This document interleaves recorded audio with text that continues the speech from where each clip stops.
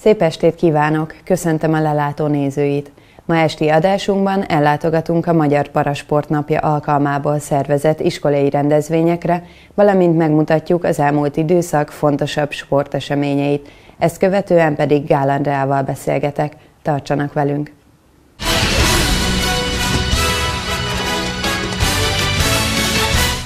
Fogyatékosnak lenni nem jelenti azt vesztesnek lenni szól a Magyar Paralimpiai Bizottság mottója. Február 22-e a Magyar Parasportnapja. Ezen alkalomból országszerte megemlékeztek a fogyatékkal élő sportolókról. A Szent László AMK és az Ötvös József általános iskola rendszeres résztvevője a programnak. A Magyarország gyűlés döntése alapján 2018 óta ünnepeljük meg a Magyar Parasport napját február 22-én. A Magyar Paralimpiai Bizottság és a Fogyatékosok Országos Diák, Verseny és Szabadidősport Szövetsége a magyar parasportok és a parasportolók megünneplésének céljából ismét együttműködésre hívta az ország összes óvodáját, iskoláját és önkormányzatát a lélekmozgató elnevezésű programjával.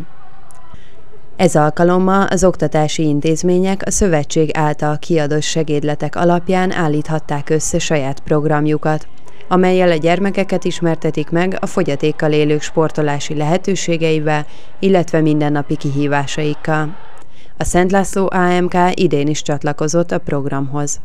Három helyszínen folytak a foglalkozások, ugye a az akadálypályán bekötöttük a gyerekek szemét, és guide segítségével tudtak végigmenni a pályán.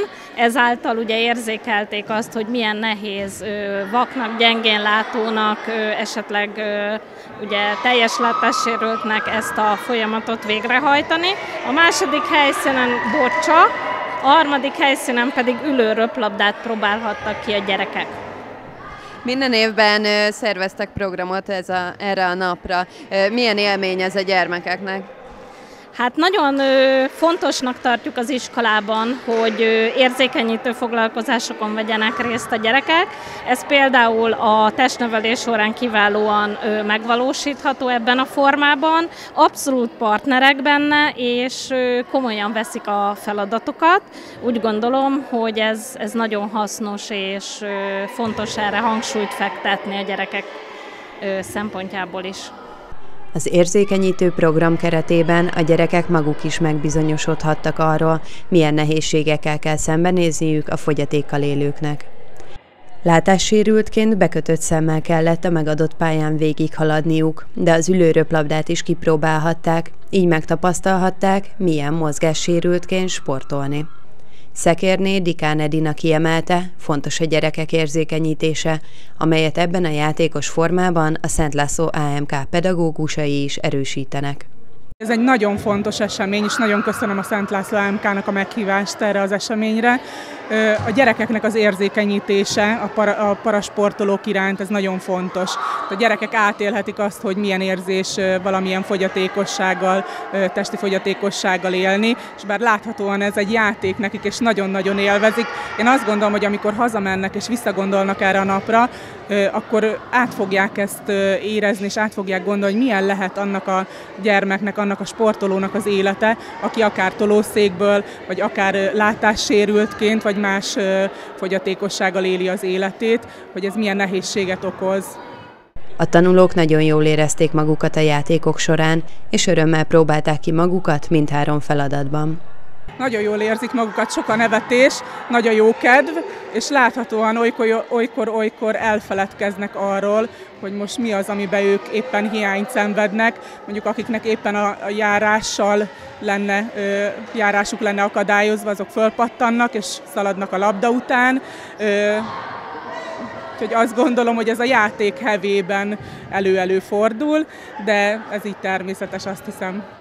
Én nagyon jól érzem magamat, szerintem a többiek is, mert hogy el vagyunk, játékok jók, át lehet érezni, mit éreznek a mozgássérült vagy beteg gyerekek. A Szent László AMK egyik diákja kiemelten érdekelt ezen a napon, hiszen parasportolóként éppen az olimpiára készül. Kollár Andor paraijász, akinek legfőbb álma és célja kijutni a 2024-es Párizsi paralimpiai játékokra. Az elején megható volt, hogy a gyerekek mennyire figyelnek rá, és mennyire segítik, illetve ö, nagyon fontos volt, hogy pont egy testnevelő az osztályfőnöke Borbély Miklós, aki kiválóan kezelte ezt a helyzetet, és mindenbe segítik. Ö, a gyerekek, ö, a parasportoló, olimpiára készülő versenyzőnket, viszont ö, nem tapasztalom azt, hogy megcsinálnak helyette mindent, hanem tényleg önállóságra szoktatják, ö, például Zánkán is volt voltunk vele ö, táborban, és ő ugyanúgy lesétált a partra, ugyanúgy részt vett minden játékban, ahogy a többi gyerek, és ezt nagyon-nagyon jó volt látni, amikor felajánlottuk neki, hogy akkor most már üljön be a kerekesszékbe, és ő nem ült be a kerekesszékbe, hanem a hatalmas emelkedőn is felsétált. Tehát abszolút önállóságra szoktatják, és, és nagyon segítőkészek vele szembe, amennyire kell, de nem kényeztetik úgymond, és a tanárok is úgy gondolom, hogy már abszolút helyén tudják kezelni a helyzetet. A pedagógusok elmondása szerint Andort mindenben segítik a társai. Andor példaértékű magatartása pedig rájuk is tanító jelleggel hat. Elmondhatjuk, a minden évben megrendezett játékos program sokat hozzátesz a gyermekek személyiség fejlődéséhez. A testnevelők nagy hangsúlyt fektetnek a gyermekek ezirányú érzékenyítésére, így minden évben színes programokkal készülnek a Parasport napjára. Ennek a szervezése úgy történt, kicsit visszamegyünk egy pár évvel ezelőttig, német román be a kolléganőm talált, aki annak idején egy négy évvel ezelőtt, hogy vegyön részt az iskolánk a Parasport napján, és ez, a, és ez olyan jól sikerült minden évben, hogy próbáltuk megtartani ezt a jó szokásunkat. Tavaly a vírus helyzet miatt elmaradt, de, elmaradt, de most, most akkor meg tudtuk tartani, és nekem már a legelején szögetített a fejembe, hogy miután egy ilyen kiváló sportoló Bajánk szülötte, és többszörös olimpikon, itt van, akkor keressük meg a Bereckei Zsoltit, hogy a gyerekeknek egy ilyen előadást, vagy valamit tartson, hogy tehát kicsit tudjuk érzékenyíteni őket a parasportok iránt is, meg lássák, ismerjék, mert azért én úgy, úgy látom, hogy talán azért Baján jobban, de országos szinten talán a parasportolók azok még mindig háttérbe szorulnak az egészséges sportolók mögött. Kovács András elmondta, a diákok továbbra is kevés figyelmet szentelnek a parasportoknak, pedig városunk maga is büszkélkedhet olimpiai bajnokkal. Vereckei Zsolt, háromszoros paralimpiai bajnok úszónk eleget tett az iskola meghívásának, és élménybeszámolót tartott a gyerekeknek. Vereckei Zsolt kiemelte, fontos küldetésük a fiatalok parasportolókkal való megismertetése. Hozzátette, a közönség soraiban ülők néha bátrabban, máskor bátortalanabbul kapcsolódnak be a beszélgetésbe. Köszönöm a Szent László iskolának, hogy itt lehetek, és a gyerekekkel így beszélgethetünk a Parasport napja alkalmából, és szoktam máshol is, mert az elmúlt években több, több helyre hívtak bennünket, és örömmel megyünk. Úgy látom, hogy az érdeklődés az elég nagy, és azért a para, parasportról most már itt Magyarországon az igen széles körben azért hallani a paralimpiáról is nagyon sokat közvetített a közmédia, ezáltal azért, azért nem lehet azt mondani, hogy nem hallottak mondjuk a parasportolóinkról, akik képviselték hazánkat. Mennyire bátrak ilyenkor a diákok, mennyire mernek kérdezni, hogy sikerül ilyenkor a beszélgetés? Hát ez változó. Valamikor van könnyedén mernek így kérdezni a diákok, valamikor meg úgy erőltetve kell kivenni belőlük, hogy nyugodtan bátran lehet kérdezni. Hát majd meglátjuk, hogy itt hogy fog majd alakulni. Hogyan szoktad felépíteni ezeket az előadásokat, így mik a kiemelt részei, miről szoktál nekik mesélni? Hát szoktam magamról is, meg szoktam úgy ér, érdeklődési szinten, hogy ők mennyire vannak képbe a parasportolóinkról. Most már rá fogok majd kérdezni, hogy például hogy Tokióban kik képviselték hazánkat, és aranyérmeseinket, például mondjuk az aranyérmeseinkre rá fogok kérdezni, hogy valaki tud elmondani aranyérmes paralimpiai bajnok sportolót, akik mondjuk Tokióban nyertek. Úgyhogy majd kíváncsi vagyok, hogy mennyire lesznek képbe a fiatalok. A szervezők szerették volna, ha Kollár Andor, az iskola parasportolója is előadást tart. De betegség miatt ő nem lehetett jelen. De Vereckei elmondta, Andor a mentorátjuk, akit mindenben támogatnak ahhoz, hogy ő is elérje paralimpiai álmait. Kollár Andort mi mentoráljuk, és nagyon szeretjük az Andort, mert hihetetlenül kitartó, szorgalmas, és nagyon nagy céljaik vannak.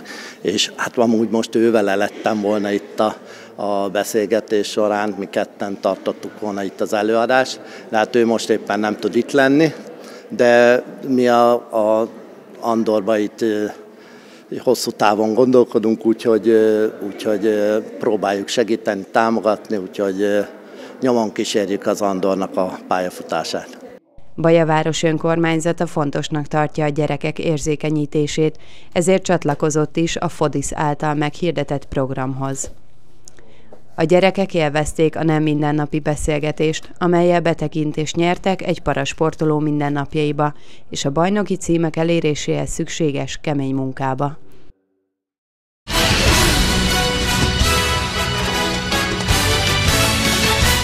Március 28-án kezdődik Budapesten a Birkózó Európa bajnokság, amelyen bajai sportolónak is szurkolhatunk. Püspöki Patrik, a Mogyi Bajai Birkózó Klub versenyzője szabadfogásban vívta ki az EB szereplési jogot. A kijutásról és az elvárásokról Jagica Lászlóval beszélgettünk. A Mogyi Bajai Birkózó Klub nagy eredményt ért el február közepén, amikor a budapesti felnőtt Európa bajnokság válogató versenyén járt. A klubot három versenyző képviselte, akik a jó teljesítményüknek köszönhetően dobogóra állhattak a csapatversenyben. Borsos Bálint 125 kilóban és Bagó Tibor 97 kilogramban végzett a negyedik helyen, Püspöki Patrik pedig hatalmas fölénye bajnok lett a saját súlycsoportjában. Már régóta célunk az, hogy felnőtt világversenyre Ugye a strandbirkózásban már volt bajai birkózó felnőtt világversenyen, de a szabadfogás, kötött fogás, tehát az olimpiai részben, ami hagyományos olimpiai rész, abban még nem volt, úgyhogy bajai birkózó, bajai színekbe felnőtt világversenyre még nem jutott ki, úgyhogy ez a bajai birkózás 140-50 éves történetében először történik meg. És ez azért nagy dolog egyébként, mert nem mindegy, hogy az itt Dortmundban vagy Vladikavkazban van ez az Európa-bajnokság, most olyan szerencsés helyzet van, hogy pont Budapesten van, és ez egy hazai rendezésű világversenyen indulni, az mindig más. Ugye itthon képviselni Magyarországot, az, az, az, egy, az egy olyan, olyan érzéses sportolónak, mindig a hazai rendezésű világverseny és az olimpia az, ami azt gondolom, hogy a csúcsa egy, egy sport életnek, vagy egy sport karriernek, hogy az, az létrejöhessen. És amellett, hogy Patrik ugye megnyerte a versenyt, harmadik lett a Bajai Klub. Mesélj erről, hogy hogy éltétek meg ezt az egész versenyt, hogy alakult? Mi éppen akkor már nagyon örültünk annak, hogy a Püspöki Patrik ugye megnyerte ezt az Európai, Európa bajnoki válogatót, és fényképet akartunk csinálni magunkról, hogy hogy örülünk, amikor ugye hirdették a csapatversenyt, és mi oda se figyeltünk, mert nem gondoltunk arra, hogy megmondom őszintén, hogy ilyen kis klubban mi a dobogóra felállhatunk Magyarország legeredményesebb birkózó csapatai között, és amikor ugye először a harmadikat kihirdették, akkor, akkor úgy kellett oda kiabálni nekünk, hogy a baját várják már, hogy álljon a dobogóra, mert nem, nem, még akkor se esett le, hogy ezek mi lehetünk. Úgyhogy ez egy külön nagy siker volt egyébként, és a Fradito egy ponttal voltunk lemaradva a második helyről. Ugye a haladás az magasan megnyerte a, a versenyt, ugyanis Ligetés, Ligetés a Veréb, a két haladásos, ugye olimpikon, ők, ők azért simán megnyerték a versenyt, és azért a csapatversenyt is és azért így, nekünk ez nagyon nagy megtiszteltetés, hogy nagy klubokat megelőzve mondjuk egy ilyen kis klub fölállhat, egy ilyen Európa bajnoki válogatón a dobogora, ugyanis tudni kell, hogy azért itt azok a birkozók mind itt vannak, akik szeretnének kijutni erre a világversenyre, tehát azt, azt lehet mondani, hogy mindenki ott van, aki számít, és a Patrikéknál is mindenki ott volt, aki számít, ugyanis azért elmondanám azt is, hogy ezen a dobogón, ahol a Patrika tetején állt, azért a lejjebb lévő fokokon azért ott volt egy Európa bajnoki és egy világbajnoki érmes is, tehát azért mindig azért a birkózásban, szerencsére a magyar birkózás azért a világ élvonalához tartozik, és ahhoz, hogy valaki itthon megnyerjen egy ilyen válogatót, ahhoz világverseny érmest kell legyőznie, viszont ez abból a szempontból jó, hogy föl tudja magát mérni, hogyha azokat meg tudta verni, akkor bízunk abba, hogy mondjuk egy Európa-bajnokságon is sikeresen fog szerepelni. És hogy zajlottak a küzdelmei Patriknak azon a napon ezekkel a nagy ellenfelekkel szemben? Hát összesen összefoglalva az egészet, ő 29 pontot csinált az ellenfelei négy mérkőzésen, míg rajta egyet sem csináltak az ellenfelei, úgyhogy mondhatni, hogy jó formában volt, de azért nem volt csúcsformában. Bízunk abba, hogy majd az Európa-bajnokságon lesz csúcsformában. És az Európa-bajnokság azért fontos most, mert ugye én mindig elmondom, hogy az a mi legnagyobb célunk, hogy legyen Bajai birkóz az olimpián. Ugye a Patrik a 86 kilóba vívta ki ezt az Európa-bajnoki szereplést, ami egy olimpiai súly, és ugye jövőre már a világbajnokság egy olimpiai kvalifikációs világbajnokság lesz Párizsra, és bízom benne, hogy most jól szerepel a Patrik, jövőre majd a világbajnokságon is jól szerepel, és akkor elérjük azt a célt, hogy lesz bajai birkózó az olimpián. És most az EB-n milyen reményeitek vannak a Patrik szereplésével kapcsolatban? Ugye azt is mondtad, hogy ez már önmagában egy nagyon nagy dolog, hogy kijutott, de mik a reményeitek? Természetesen az az első számú cél, hogy az első öt között végezzen, de nem tudom fölmérni a mezőnyt, nem tudom hova helyezni a Patrikot a mezőnybe, ugyanis nem indult még ugye ilyen szintű világversenyen, az ellenfeleket a tévéből ismerjük, tehát az mindig más, amikor azt mondod valakiről, hogy ez jó, vagy ez egy kicsit gyengébb képességű birkózó, de amikor ott áll veled szembe és küzdeni kell vele, akkor lehet, hogy a gyengébb képességről is kiderül, hogy nem annyira gyenge, vagy pedig a nagyon jóról kiderül, hogy esetleg hozzád képest mégsem olyan jó. Ezt így nem, nem tudom fölmérni, azt igazán majd akkor ott a versenyen sikerül majd. Az ebén kívül egyéb verseny van-e előttetek? Mm, ugye többi birkózóval is, mint például Borsos Bálint is. Van-e valami kilátásban?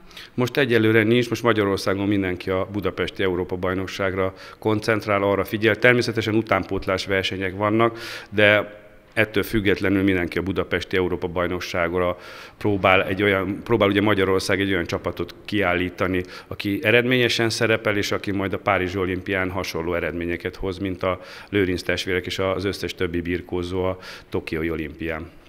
Az ellenfeleket nem ismerik személyesen jagicáék, így nehéz felmérni az esélyeket az Európa-bajnokságra, de az edző bízik benne, hogy Püspöki bekerül a legjobb öt közé a világversenyem. Az Európa-bajnokság március 28-án kezdődik, amelyre a Magyar Birkózó Szövetség buszokkal szállítja majd a szurkolókat, többek között Bajáról is, hogy minél többen követhessék élőben sportolójuk szereplését.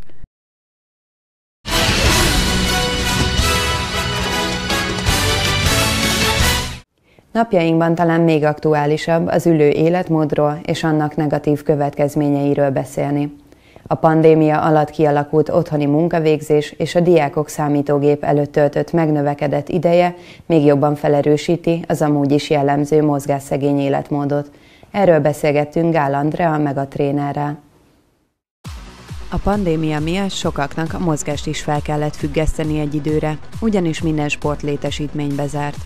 Amellett, hogy az edzők nehéz helyzetbe kerültek, a vendégek is hiányt szenvedtek a megszokott edzéseikből. Ennek a helyzetnek eleget téve tért át Gál Andrea sokat magával az online térbe, ahol megpróbálta tovább tartani a kapcsolatot a sportolni vágyokkal. Eléggé nehéz volt, mert nálam a vendégeimnél nagyon fontos a személyes kontakt. Az én óráimon nagyon fontos a prevenció, tehát hogy lássam és tudjak segíteni a vendégeimnek a helyes tartásban. Úgyhogy ez az online edzés nem igazán jött be a lányoknak, azt kell, hogy mondjam, az első Covid helyzet alatt kicsit többen tornáztak. A vendégeimnek azt tudom mondani, egy olyan 60-70 százaléka, most a másodiknál már sajnos annyira belefáradtak, hogy max. egy ilyen 20-30 százaléka, aki tornázott otthon.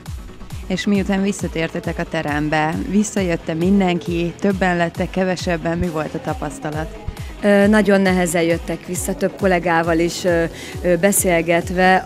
Úgy tűnt, hogy az emberek nehezen merészkednek vissza. E, eléggé belevésődött az agyukba ez a, ez a, ez a rossz helyzet. Féltek a betegségektől, a megbetegedésektől. Szépen lassan visszaszivárogtak. Azt tudom mondani, hogy most már majdnem 99 százalék. Inkább ugye a középkorosztály és a fiatalabbak, akik visszajöttek, ő sajnos az idősebb vendégeim, ők még nem nagyon mertek, ő belőlük egy olyan két-három ember, aki bemer jönni a terembe. Az interneten számos ingyenes videó megtalálható, valamint sok edző csatornájára fel lehet iratkozni, elő lehet fizetni, így otthonról bármikor elvégezhető a kiválasztott mozgásforma.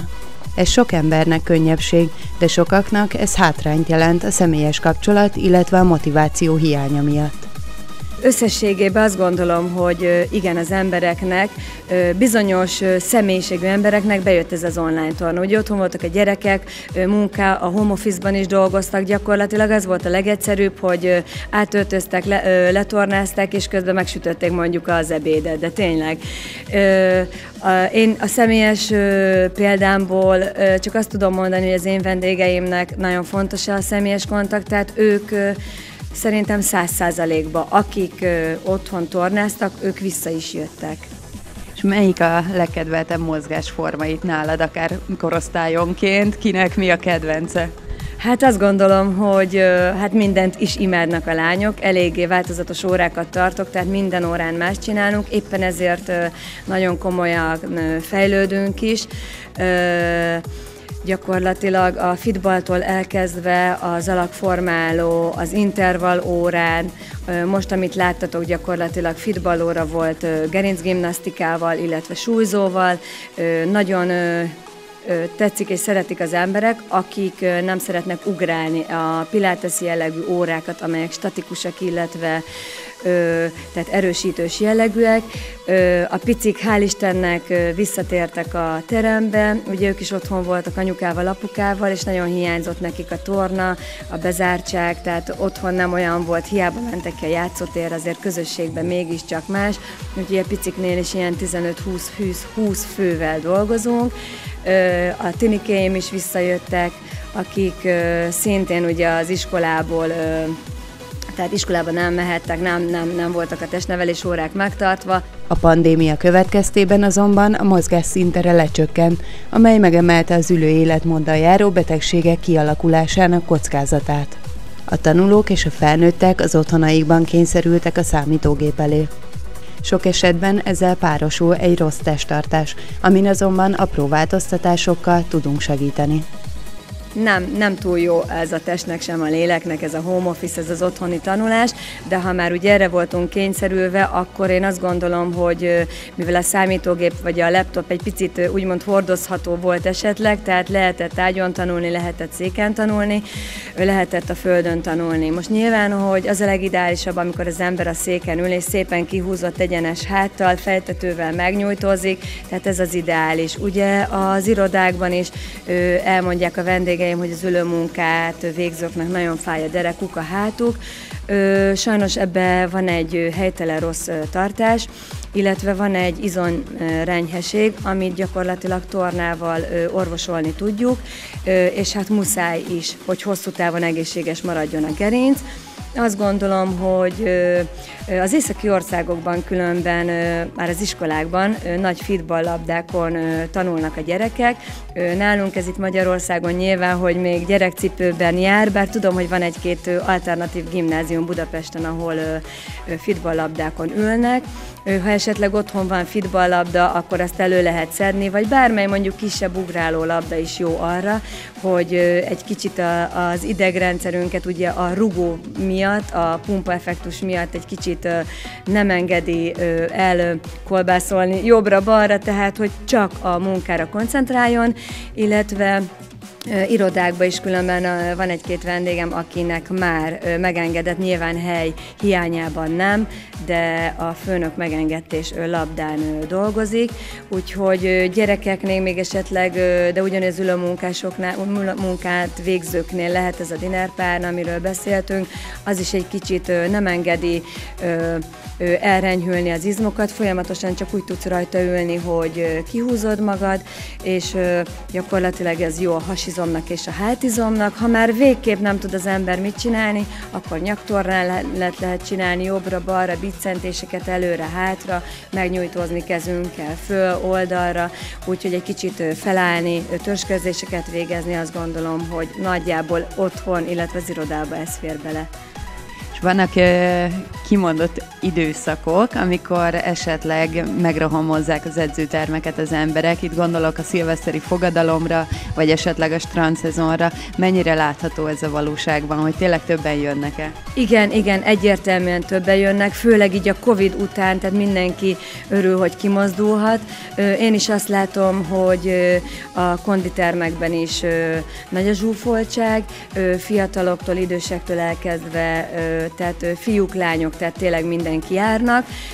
Nálam is mindig egy picit, nagyon kevés az a százalék nálam, akik csak ezért jönnek, mert nálunk egész évben, tehát télen-nyáron van a torna, és nyomják a csajok ezerrel, de nagyon minimális, aki esetleg elkezdi, és, és abba is hagyja akik a vendégeid közé tartoznak, ők szoktak-e egyes sportrendezvényekre is járni? Észreveszed-e azt esetleg, hogy jobban megmozdulnak a városi rendezvényeken? Ebben van-e valami párhuzam?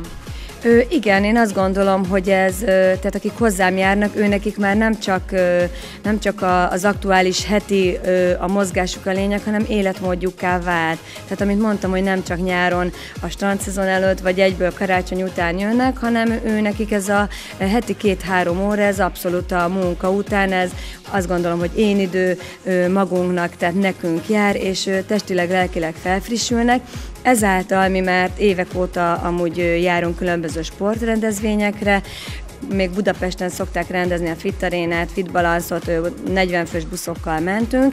Itt Baján is ugye egyre több a sportrendezvény szerencsére, inkább kinti rendezvények, tehát futóversenyek, hát nehé, nehezen mozdítom ki őket, de két-három ember azért, azért jön velem, és próbáljuk képviseltetni a magacsajokat.